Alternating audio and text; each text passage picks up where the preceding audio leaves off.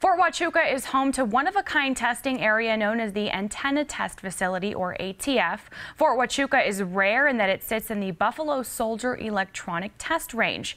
It's one of the only areas in the United States where outside radio interference is especially low, making it a good spot to test communications. Nine on your sides, Keaton Thomas takes us above, below, and around the ATF.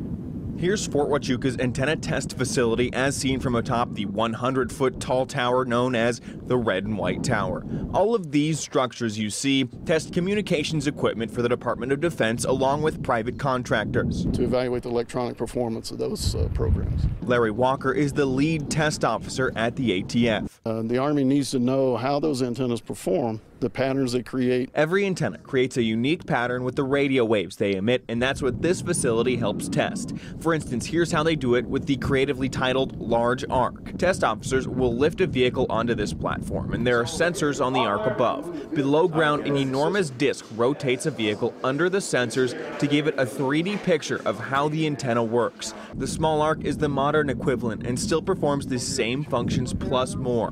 And all of this helps make sure comm equipment on something like like this MRAP vehicle work together. Why is this important?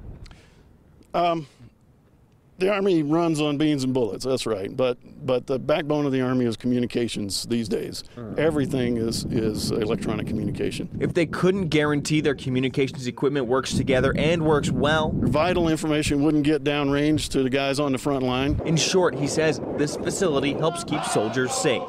Keaton Thomas, KGUN 9 on your side. The rich history